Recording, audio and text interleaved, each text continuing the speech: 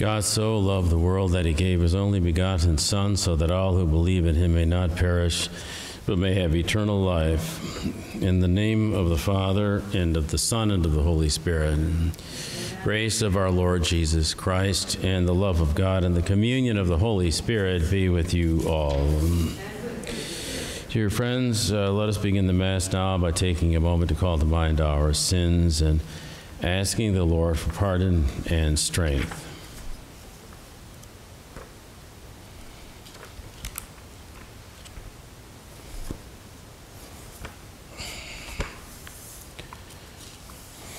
Lord Jesus, you are mighty God and Prince of Peace. Lord, have mercy. Lord Jesus, you are the Son of God and Son of Mary. Christ, have mercy. Lord Jesus, you are Word made flesh and splendor of the Father. Lord, have mercy. May Almighty God have mercy on us, forgive us our sins, and bring us to everlasting life. Glory to God in the highest, and on earth peace to people of good will. We praise you, we bless you, we adore you, we glorify you. We give you thanks for your great glory, Lord God, heavenly King, O God, Almighty Father, Lord Jesus Christ, only begotten Son. Lord God, Lamb of God, Son of the Father, you take away the sins of the world. Have mercy on us. You take away the sins of the world. Receive our prayer. You are seated at the right hand of the Father. Have mercy on us. For you alone are the Holy One. You alone are the Lord. You alone are the Most High, Jesus Christ, with the Holy Spirit, and the glory of God the Father. Amen. Let us pray. O God, who gave the martyr St. Thomas Becket the courage to give up his life for the sake of justice, grant through his intercession that, renouncing our life for the sake of Christ in this world, we may find it in heaven. Through our Lord Jesus Christ, your Son, who lives and reigns with you in the unity of the Holy Spirit, one God, forever and ever.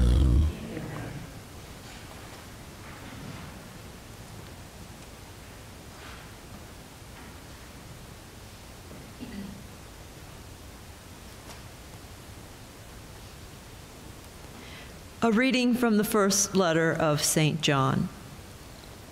Beloved, the way we may be sure that we know Jesus is to keep his commandments. Whoever says, I know him, but does not keep his commandments is a liar, and the truth is not in him. But whoever keeps his word, the love of God is truly perfected in him. This is the way we may know that we are in union with him. Whoever claims to abide in him ought to walk just as he walked. Beloved, I am writing no new commandment to you, but an old commandment that you had from the beginning.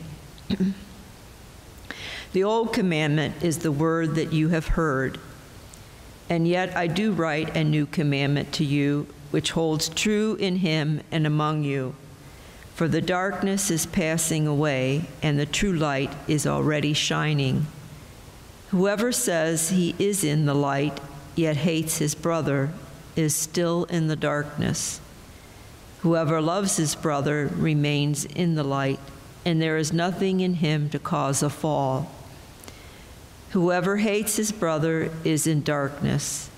He walks in darkness and does not know where he is going, because the darkness has blinded his eyes. The word of the Lord. Thanks be to God. Let the heavens be glad and the earth rejoice. Let, Let the heavens be glad and the earth rejoice. Sing to the Lord a new song. Sing to the Lord, all you lands. Sing to the Lord, bless his name. Let the heavens be glad and the earth rejoice. Announce his salvation day after day. Tell his glory among the nations, among all peoples his wondrous deeds. Let the heavens be glad and the earth rejoice. The Lord made the heavens, splendor and majesty go before him. Praise and grandeur are in his sanctuary. Let the heavens be glad and the earth rejoice.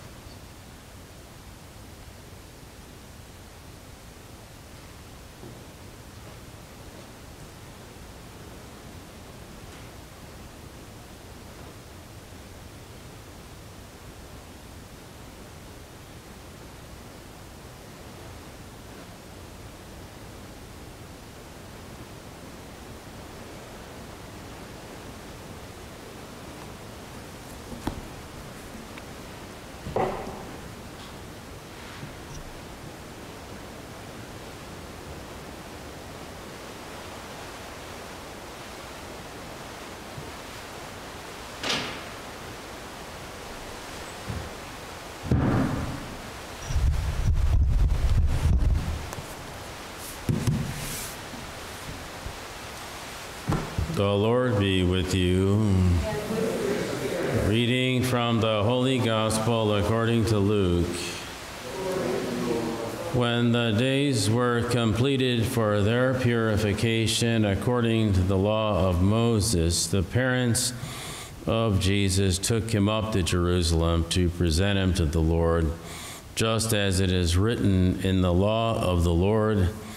Every male that opens the womb shall be consecrated to the Lord, and to offer the sacrifice of a pair of turtle doves or two young pigeons, in accordance with the dictate in the law of the Lord. Now there was a man in Jerusalem whose name was Simeon. This man was righteous and devout, awaiting the consolation of Israel, and the Holy Spirit was upon him. It had been revealed to him by the Holy Spirit that he should not see death before he had seen the Christ of the Lord. He came in the Spirit into the temple, and when parents brought in the child Jesus to perform the custom of the law in regard to him, he took him into his arms and blessed God, saying, Now, Lord, let your servant go in peace. Your word has been fulfilled. My own eyes have seen the salvation which you prepared in the sight of every people a light to reveal you to the nations and the glory of every people, Israel. The child's father and mother were amazed at what was said about him. And Simeon blessed them and said to Mary, his mother, Behold, this child is destined for the fall and rise of many in Israel, and to be a sign that will be contradicted, and you yourself a sword will pierce, so that thoughts of many hearts may be revealed. Gospel of the Lord.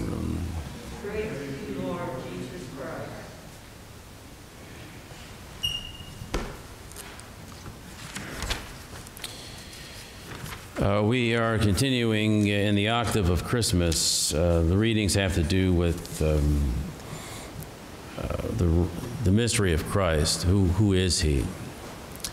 And uh, the, one of the earliest prophecies connected with him, uh, made by Simeon to the mother, that uh, Jesus would be a sign of contradiction and uh, it was described, the effect of it was described as a sword piercing her heart. So, one of the um, artistic emblems of Mary's heart is the heart with the sword piercing through it. Um, whereas the Sacred Heart of Jesus is a little bit, little bit different. It has the crown of thorns and so forth. But the sword that pierced Mary's heart had to do with the, the vicarious suffering he would experience because of his son.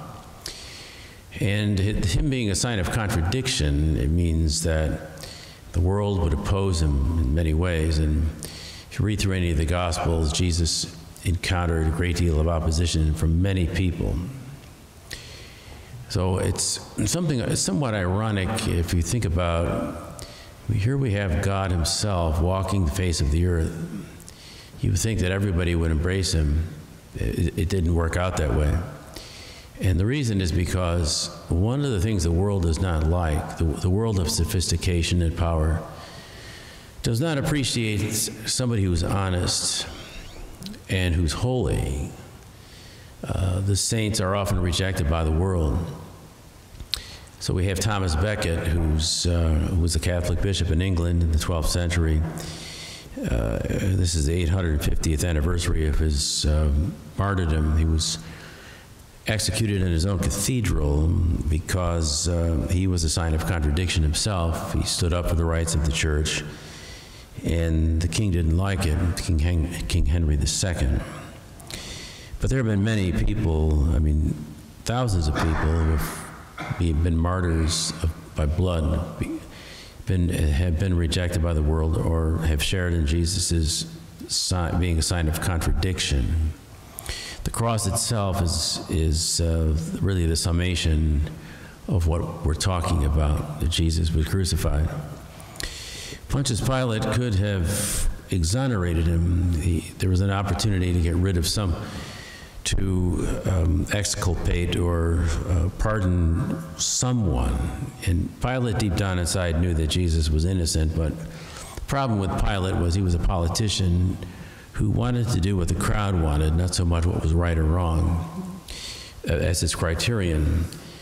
So instead of getting, uh, instead of pardoning Jesus and, and putting Barabbas uh, on the cross, so to speak, who was, a, who was in fact an, exor- an insurrectionist, he was, uh, he was not good, to say the least. He decided, well, let's pardon uh, Barabbas and we'll, we'll just crucify Jesus. So that's an example of perfidy or uh, a kind of a dissimulation with, with people when people aren't honest about the truth and so forth they end up doing things like that.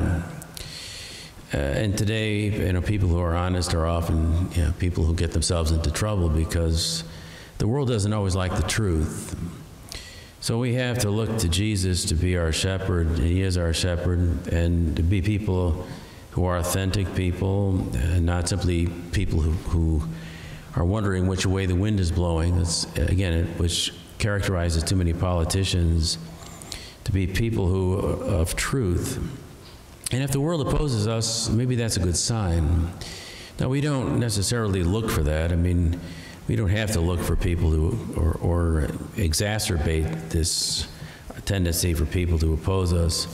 But if it comes down to that, it comes down to it. We don't have to be liked by everybody. People think we're strange because of our faith. But maybe that's a bonus, really. Not, not that we're wearing our faith on our sleeve so much.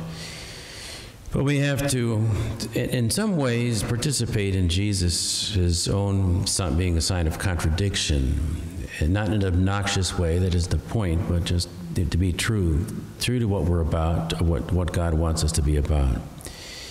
And um, as Jesus said in the Beatitudes, if they hate you and curse you and accuse you falsely because of me, you are blessed, and indeed.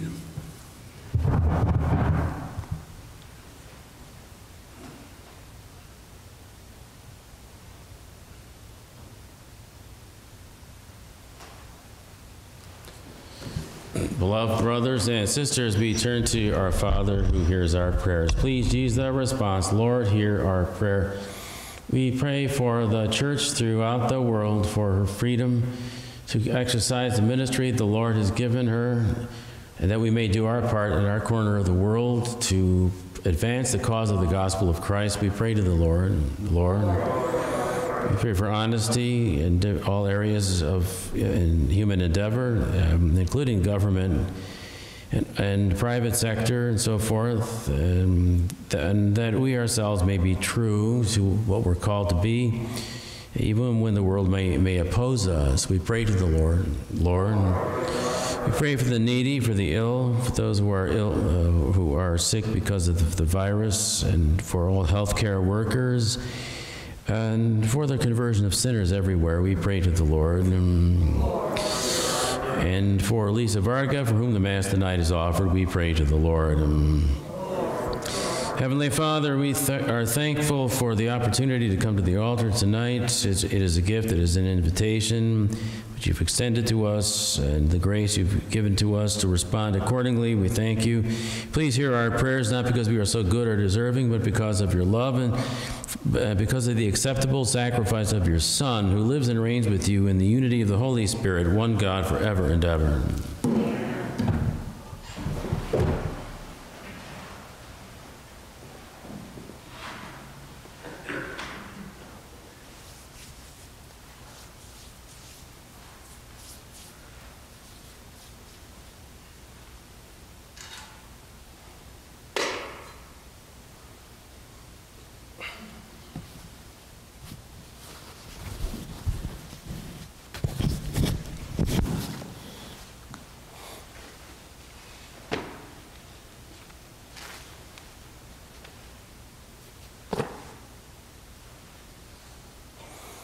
Blessed are you, Lord, God of all creation, for through your goodness we have received the bread we offer you, fruit of the earth and work of human hands. It will become for us the bread of life. Blessed be God.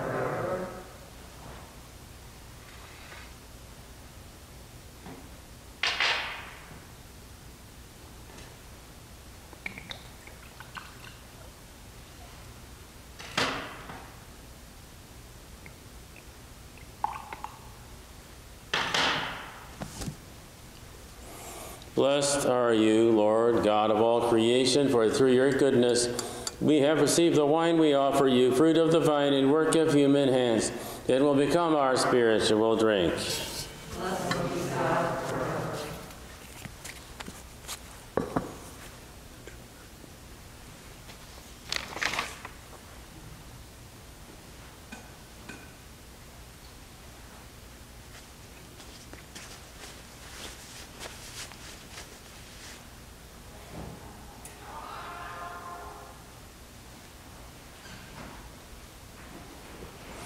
Pray, brethren, that my sacrifice and yours may be acceptable to God, Almighty Father.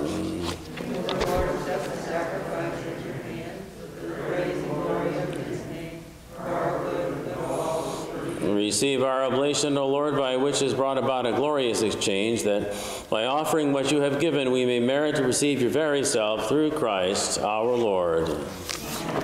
The Lord be with you. Lift up your hearts. Let us give thanks to the Lord our God. It is truly right and just, our duty and our salvation, always and everywhere, to give you thanks, Lord, Holy Father, Almighty and eternal God. For in the mystery of the Word made flesh, a new light of your glory has shone upon the eyes of our minds, so that as we recognize in him God made visible, we may be caught up through him in love of things invisible.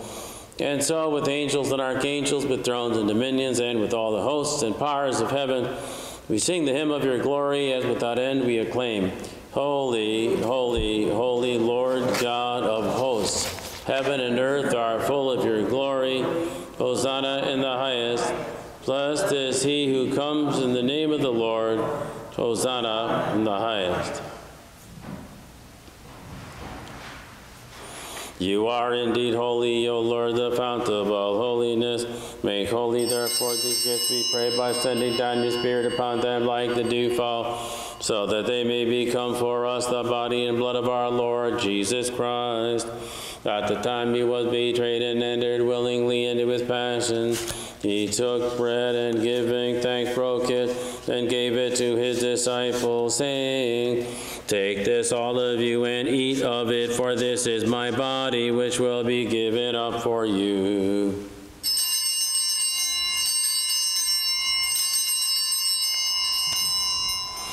In a similar way, when supper was ended, he took the chalice and once more giving thanks, he gave it to his disciples, saying, Take this, all of you, and drink from it, for this is the chalice of my blood, the blood of the new and eternal covenant, which will be poured out for you and for many, for the forgiveness of sins. Do this in memory of me.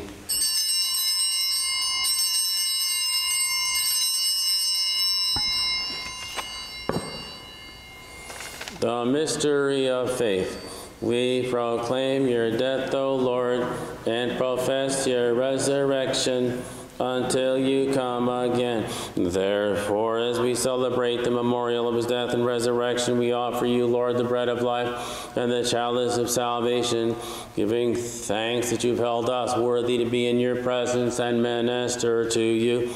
Humbly we pray that partaking of the body and blood of Christ, we may be gathered into one by the Holy Spirit.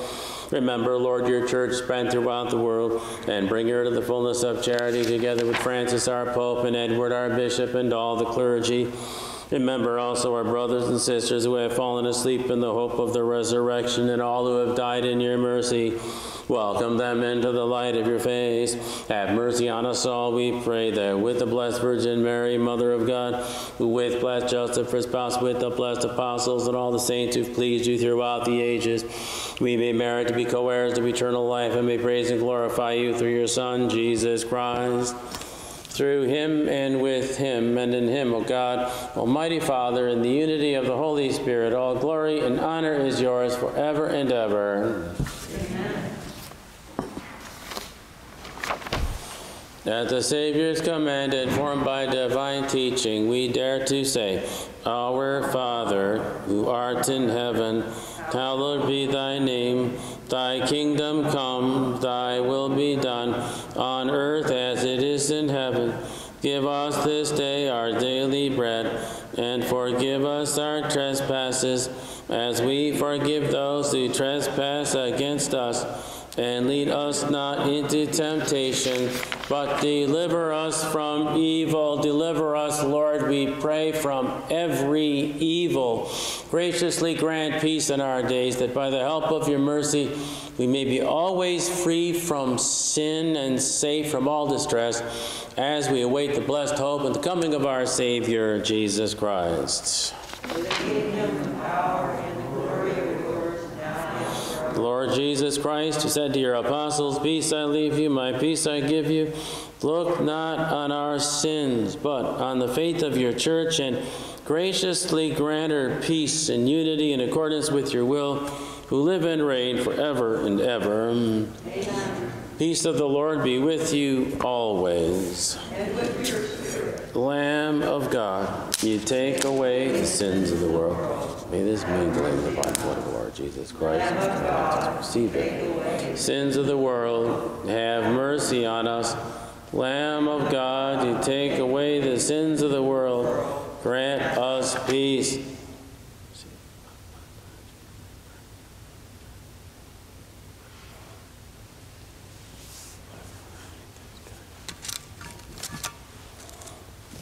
Behold, the Lamb of God. Behold him who takes away the sins of the world. Blessed are those called to the supper of the Lamb. Lord, I am not worthy that you should enter under my roof, but only say the word, and my soul shall be healed.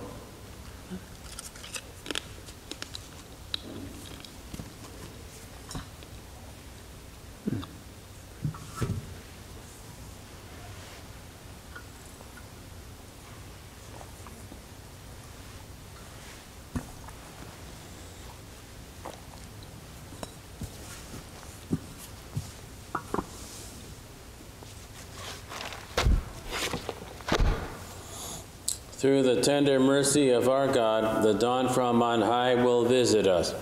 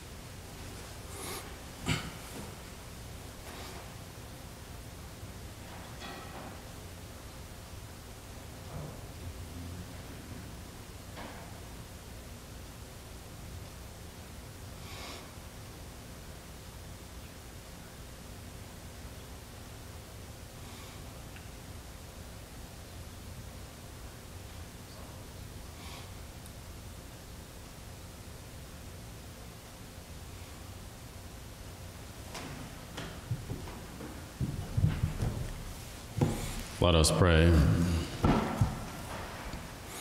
Grant, we pray, Almighty God, that by the power of these holy mysteries, our life may be constantly sustained through Christ our Lord. And Lord be with you. Almighty God bless you, the Father, and the Son, and the Holy Spirit. And go in peace. Saint Michael, Archangel, defend us in battle. Be our protection against the wickedness and snares of the devil. May God rebuke him, we humbly pray. Do thou, Prince of the heavenly host, by the power of God, cast into hell Satan and all the evil spirits prowl about the world seeking the ruin of souls. Amen.